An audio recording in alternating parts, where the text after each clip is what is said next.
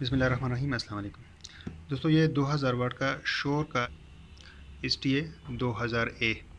ये इन्वर्टर है, हमारे पास 12 वोल्ट में अवेलेबल है। मॉडिफाइड साइन वेव है, ठीक है। लो इंटरफेस टेक्नोलॉजी इसमें इस्तेमाल हुई है। टर्बो कूलिंग फ़ैन है। और इसके अलावा जब बैटरी लो होती है, उसके लिए ये अलार्म देगा आपको।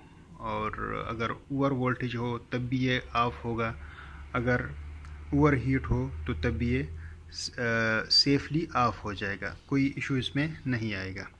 यहाँ पे उन्होंने कहा हुआ है कि क्या क्या आप इसके साथ चीज़ें चला सकते हैं, ठीक है?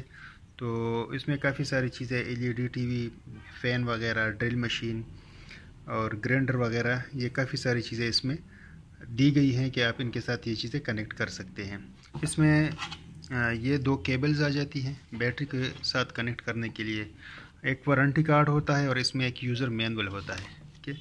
यहाँ पे आपको बैटरी क्या बताएगा कि कितने परसेंट आपकी बैटरी चार्ज है या कितने परसेंट ये रहती है। इसमें जो परसेंटेज है, फाइव परसेंट है, फिफ्टी परसेंट है सौ परसेंट है।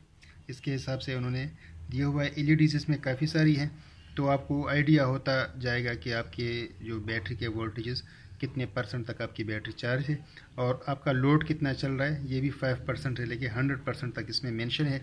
तो आप यहाँ से देख सकते हैं, ये मेड इन चाइना है और अभी मैंने इसको ओपन करना है। इसका सर्किट हम देखेंगे कि इसका सर्किट किस तरह का है कितने कंपोनेंट इसमें लगे हुए हैं और किस तरतीब से लगे हुए हैं।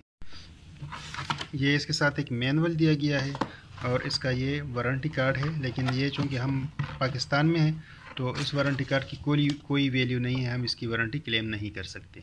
यहाँ पे अगर आप देखें, एक तो ऑन ऑफ़ बटन इसमें है यूएसबी पोर्ट है मोबाइल चार्ज करने के लिए, और ये आउटपुट सॉकेट है। ठीक हो गया। दूसरी साइड पे कूलिंग फ़ैन है और बैटरी टर्मिनल्स हैं। फुल लोड ऑपरेशन है, ठीक है। आप इस पर फुल लोड डाल सकते हैं।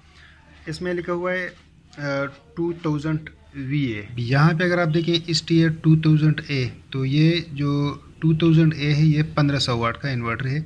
इस पर आप पंद्रह सौ वाट तक का लोड डाल सकते हैं। अब अगर इसका सर्किट हम देखें तो इसमें भी तीन हज़ार वाट वाले की तरह ट्रांसफार्मर लगे हुए हैं। वहाँ पे जो थे वो छः लगे हुए थे, यहाँ पे पाँच लगे हुए हैं। ठीक है? अगर ट्रांजिस्टर की बात करें तो चार बड़े ट्रांजिस्टर यहाँ लगे हुए हैं, उसके बाद दो लगे हुए हैं और उसके बाद मज़ीद चार लगे हुए हैं। ठीक है? अब यहाँ पे अगर आप देखें तो हर एक ट्रांसफार्मर के साथ उस हिसाब से फिर कैपेसिटर भी लगे हुए हैं। ठीक है? ट्रांजिस्टर जो हैं वो चार इस साइड पे भी लगे हैं, साथ दो मज़ीद लगे हुए हैं। कूलिंग फ़ैन है, ये आउटपुट सॉकेट है, ये वो जो डिस्प्ले के लिए है एलईडी डिस्प्ले, ये उसका सर्किट है। ठीक है? तो ये जो इन्वर्टर है ठीक है इसका भी सर्किट बड़ा सर्किट है और ये आ, मतलब काफ़ी वेट वाला इन्वर्टर है। इसमें भी जो फ्यूज़ लगे हुए हैं ये कुछ तीन फ्यूज़ तीस एम्पेयर के यहाँ पे लगे हुए हैं और तीन फ्यूज़ यहाँ पे लगे हुए हैं ठीक है? तो ये फ्यूज़ के हिसाब से भी ये सेफ़ है।